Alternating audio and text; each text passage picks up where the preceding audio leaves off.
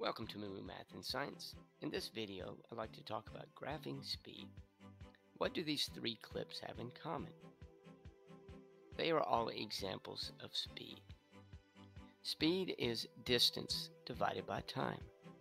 You can also use final distance minus initial distance divided by final time minus initial time.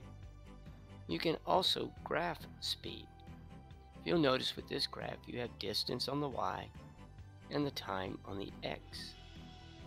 Also, the greater the slope, the greater the speed. Let's look at this mathematically.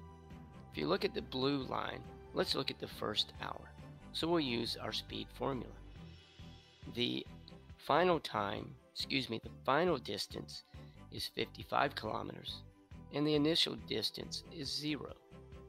The final time is 1 hour and the initial time is 0. And that gives you a speed of 55 kilometers per hour. Now look at the green line and that represents running. The final distance is 5 kilometers and the initial distance is 0. And this is divided by the final time of 1 hour and the starting time of 0 or 5 kilometers per hour so you can see the greater the slope, the greater the speed. Sometimes you'll encounter a graph in which you have a flat line, and this tells you that the speed is zero or the movement is stationary. Let's look at the first 45 minutes. Each dot represents 15 minutes. 45 minutes equals 0.75 of an hour.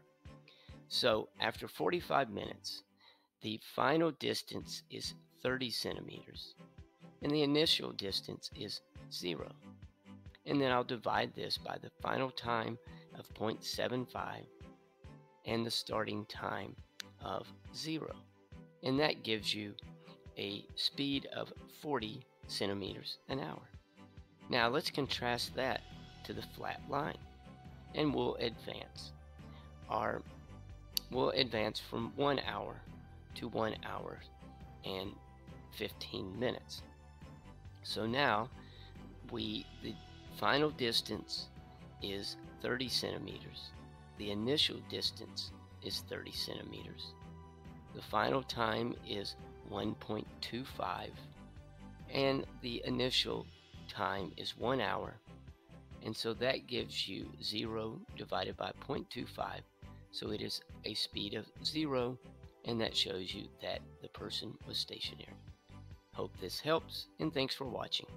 Moo Math uploads a new math and science video every day. Please subscribe and share.